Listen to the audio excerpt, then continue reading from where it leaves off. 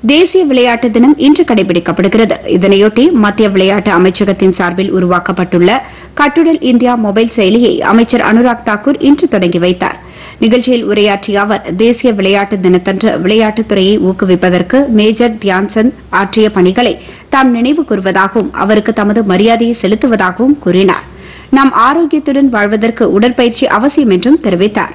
உடற்பயிற்சி மேற்கொள்வது எளிது என்பதை வலியுறுத்தும் நோக்கில் கட்டுடல் இந்தியா மொபைல் செயலி வடிவமைக்கப்பட்டிருப்பதாக தெரிவித்த அமைச்சர். இதனை இலவசமாக பயன்படுத்திக் கொள்ளலாம் என்றும் கூறினார்.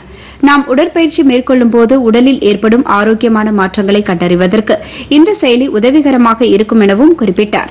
மேலும் நாள்தோறும் அரை மணி நேரம் உடற்பயிற்சி செய்வதற்கு நாம் அனைவரும் உறுதியேற்றுக் கொள்ள வேண்டுமென அமைச்சர் வலியுறுத்தினார். இந்நிகழ்ச்சியின் போது மத்திய விளையாட்டுத்துறை இணையமைச்சர் நிஷித் பிரமாணி உள்ளிட்டோர் உடனிருந்தனர்.